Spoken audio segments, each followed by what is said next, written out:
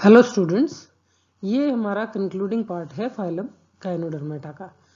आ, हमें करनी है जो सब फाइलम एलिथ्रोजोआ है उसकी एक क्लास बची हुई है हमारी और दूसरा जो सब फाइलम है पलमेटोजोआ ये दोनों चीज़ें हमें इसमें कंप्लीट करनी है।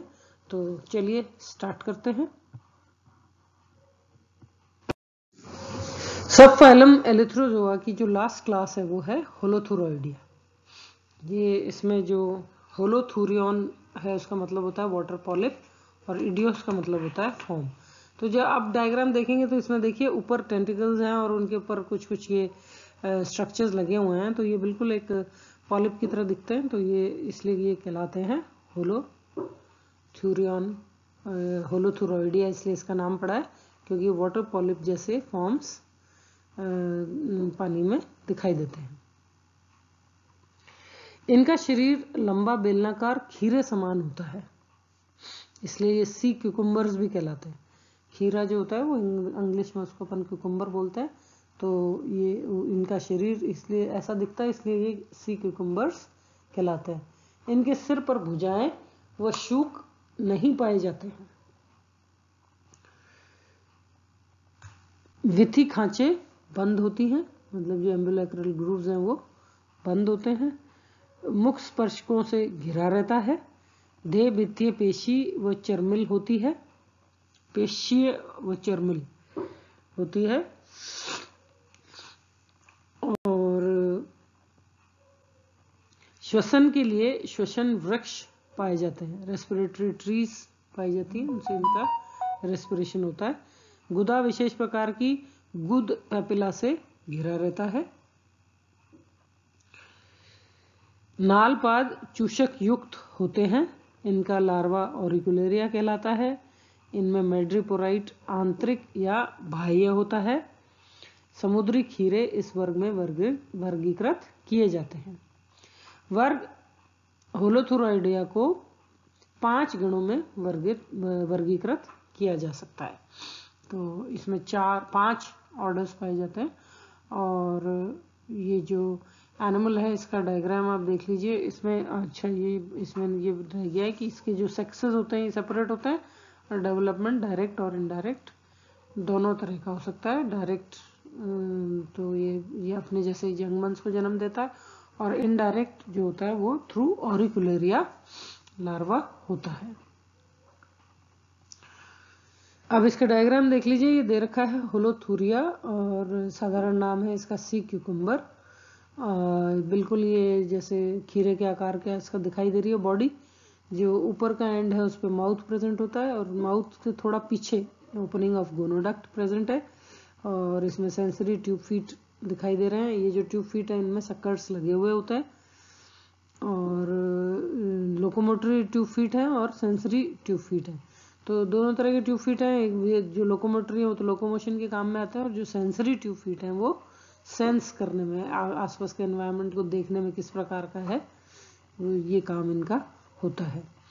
तो ये इस तरह से पॉलिप के आकार का जो जंतु दिखाई दे रहा है, वो होता है होलोथूरिया।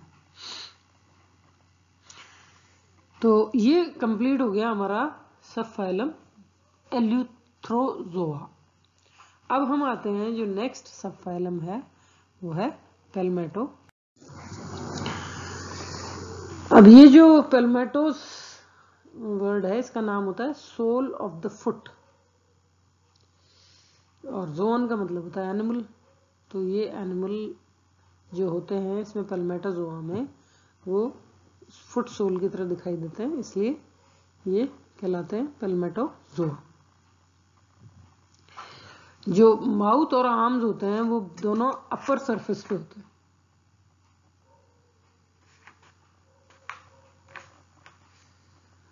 और attached to the bottom of the sea ये जो एनिमल्स होते हैं ये बॉटम ऑफ़ द सी पे अटैच्ड रहते हैं. और ये जो uh, ये अटैच रहता है मतलब ये सेडेंट्री मतलब uh, ये सेडेंट्री है ये एनिमल्स मतलब ये हिलते नहीं है एक ही जगह पे पाए जाते हैं वहाँ फिक्स्ड होते हैं और इनके जो आर्म्स होते हैं ये हिलते रहते हैं. ये जो सब फाइलम है पेलमेटोजोआ ये इसमें केवल एक क्लास पाई जाती है और ये है क्रेनोइडिया जो क्लास इसमें पाई जाती है, वो है क्रेनोइडिया अब क्रेनोइडिया का मतलब है ग्रीक वर्ड क्रेनॉन का मतलब होता है लिली और रिडोस का मतलब होता है फॉर्म तो ये लिली जैसे फॉर्म मतलब लिली मतलब जो कमल होता है, जो पानी का जो कमल होता है, उस तरह का ये इनका स्ट्रक्चर दिखाई देता है, फूल के आकार का, इसलिए इनको बोलते हैं क्रेनोइड क्रेनोइडिया ये जीवन के कुछ समय या जीवन पर्यंत सतह पर चिपके रहते हैं। मुख व गुदा दोनों मुख सतह पर पाए जाते हैं। इनकी भुजाएँ शाखित व पिछाकार होती हैं। डायग्राम में आप देख सकते हैं कि जो पाँच भुजाएँ हैं ये ये जो पाँच भुजाएँ हैं, वो सेंटर से पाँच भुजाओं की तरह निकलती हैं और बाद में ये डिवाइड होके एक की दो हो जाती हैं तो ये टोटल टेन भुजाएँ इनमें होती हैं। मुख सतह पर पक्षमाभित विथी खांचे पाई जाती हैं। जो मुख सतह है, उसके ऊपर एम्ब्रोलैक्रल ग्रूव्स पाए जाते हैं। प्रारंभ नाल पादों में चूषकों का अभाव होता है। प्रारंधक शूलों तथा व्रंत पादों का अभाव होता है। मेड्रोपोराइट स्पाइंस पेडिसलरी इसमें नहीं पाया जाता है। इनका सबका अभाव होता है। इनकी आहार नाल वी के आकार की होती है। शरीर में केंद्रीय डिस्क प्याले नुमा कैलिक्स बनती है। इनमें विटिलेरिया या पेंटा क्रेनोइडा लार्वा पाए जाते हैं। तो डेवलपमेंट यानी इनडायरेक्ट है, जो लार्वल फॉर्म होता है, वो होता है विटिलेरिया या पेंटा क्रेनोइडा तो ये पूरा हो गया ब्योरा क्रेनोइडिया के एनिमल्स का, और इसका एग्ज़ाम्पल है एंटीडोन। और डायग्राम आप देख सकते हैं सीधे हाथ की तरफ़, इसमें ये सेंटर जो सेंट्रल डिस्क है, जो पेंटा, पेंटामरस है इसकी पाँच साइड्स हैं, इसकी डिस्क की, सेंटर की डिस्क की। और हर हर एक जो दो भुजाएँ जहाँ पे मिल रही हैं, उस एरिया में आर्म्स निकल रहे हैं। और ये जो सेंट्रल डिस्क है, इसके ऊपर एनएस प्रेजेंट है, माउथ प्रेजेंट है। तो एक ही सरफेस पे दोनों चीज़ें प्रेजेंट है और जो आर्म्स हैं, उनमें पिन्यूल्स लगे हुए हैं थ्रू आउट द लेंथ तो इस तरह से ये है एनिमल एंटी डॉन और इसमें क्लियर नहीं है, लेकिन इसके जो नीचे का सिरा होता है, जहाँ पे ये सेंट्रल डिस्क है, जहाँ पे ऊपर के सिरे पर माउथ और इनस प्रेजेंट है, नीचे के सिरे पर कुछ प्रोजेक्शन निकले हुए होते हैं, जो कि एनिमल को फिक्स करने में काम आते हैं। तो ये एक डोर्सल व्यू अपने को दिखाई दे रही है, जो वेंट्रल व्यू यदि अपन देखें तो उसमें वो क्लियर होता है। तो ये हो गया आपका जो फाइलम सब फाइलम बी है पेलमेटोजोआ जिसमें केवल एक क्लास है क्रेनोइडिया तो अब जो नंबर ऑफ़ क्लासेस हमने कैनोडर्मेटा में पढ़ी हैं, वो है टोटल पाँच। चार तो होती हैं एलिथ्रोजोआ सब फाइलम में, और एक है पेलमेटोजोआ सब फाइलम में।